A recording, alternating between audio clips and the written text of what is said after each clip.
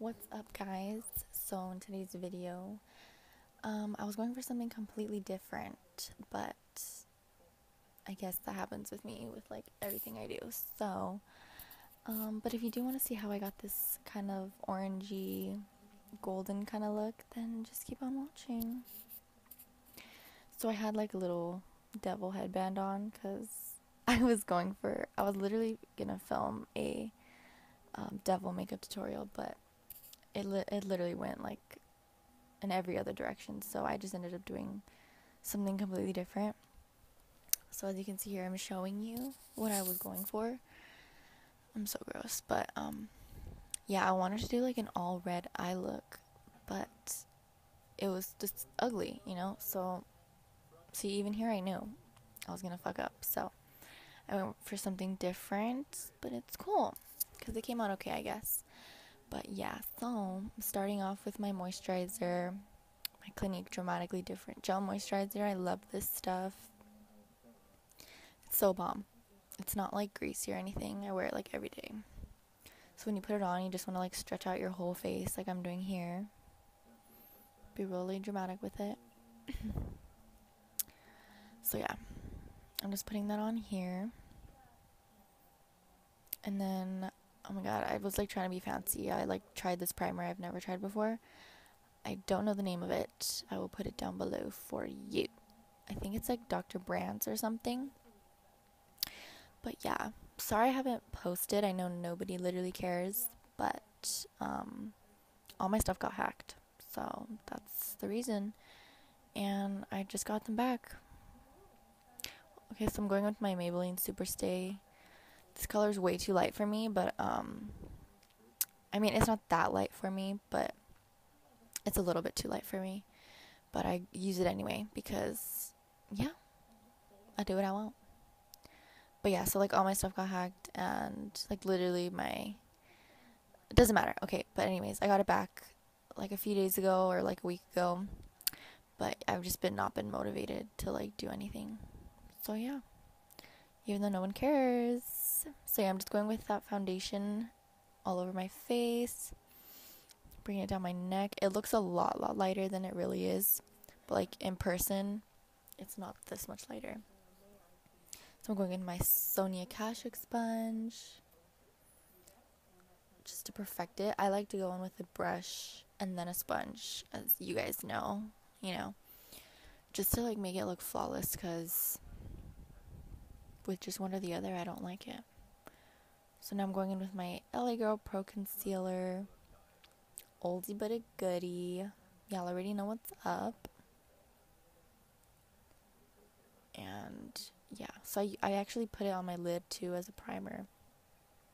These days I don't really use the primer, but if I'm feeling like extra greasy, then I'll go in with like my MAC um, soft ochre paint pot.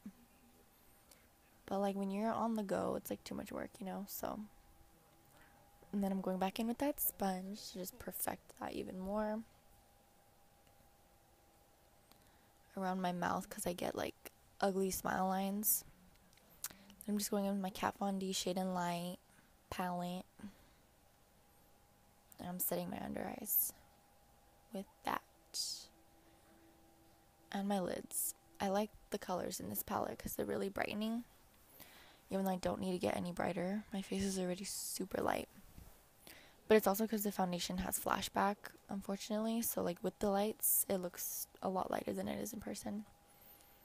And then for my whole face, I go in with RCMA No Color Powder. Oh my god, I'm going too fast.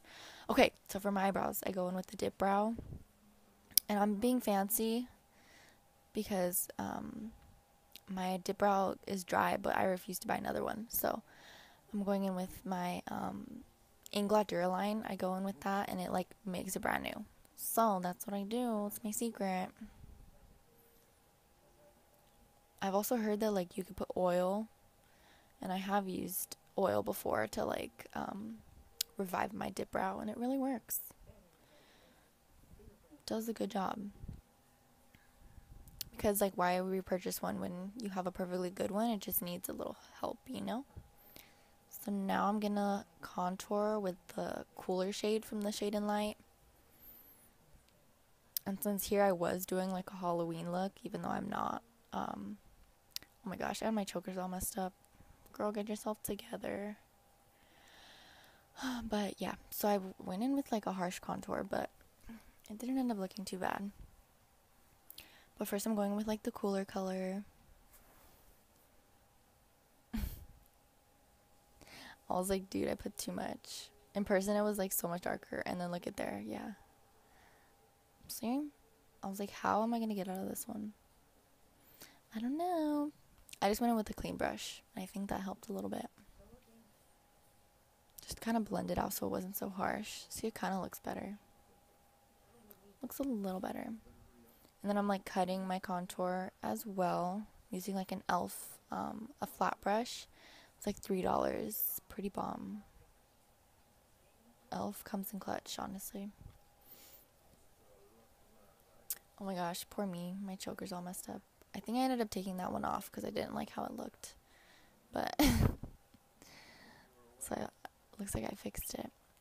And then here I'm going to start my eyeshadow going with the Anastasia Soft Glam. I love this palette. It's so bomb. It has like every color you can need for every day.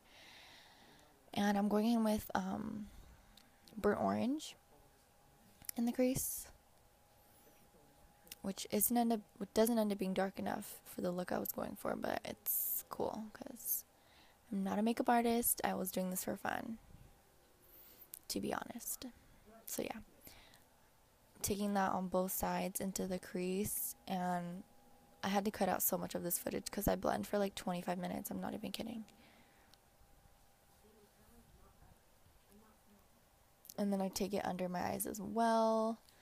Okay, so what had happened here was I took this orange color from this um, Juvia's Place palette and I had wet my brush and I put it all over my lid and I hated how it looked. So I'm taking the dark color from the Soft Glam palette, like the dark red, and I just went over top of that because I hated how the orange looked. But since I had wet my brush with that orange color, it was like so hard to blend out. I regretted it afterwards. Honestly, this look is like a total failure, but kind of looks cute at the end, so I was like, why not? So this is me after blending like 35 minutes, no joke. It took me so long to like blend out my eye, and it still looks like trash.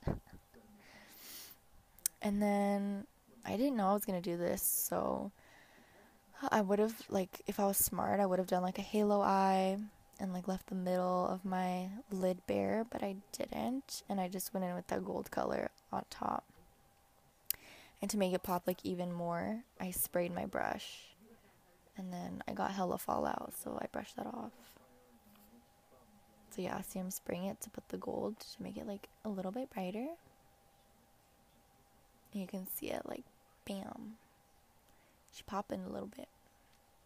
And then I go back in with my face. I'm using the Balm Beach Blush Trio. It's so cute. I love this little trio. I got it at like Gen Beauty two years ago because I think now two years ago or a year ago. I don't know. I'm just going with a clean Luxie brush to blend out um, my crease. It looks better in person. Well, I thought it did. Doesn't look as good on camera, but it's cool. And then I'm going in with this little mini palette. Honestly, this little um, duo thing is so underrated. I mean, I think it's discontinued anyway, but it's the ColourPop and Alexis Ren blush and highlight. This highlight is so poppin'. Like, you'll see at the end of the video. Um, I don't know why I go on my chin with highlight. I literally never do that. I was trying to be like a YouTuber. And then I'm going with my Ardell Foam Ink and some Irrelevant mascara that I just got in my BoxyCharm. Not really that good, but I just put it on so that there's something there for when I put my lashes. And then here I think I have lashes on. Oh my gosh, and then I got freaking mascara on my nose. Like a big old glob too. But yeah, if that ever happens, just wait till it dries and then um, scratch it off.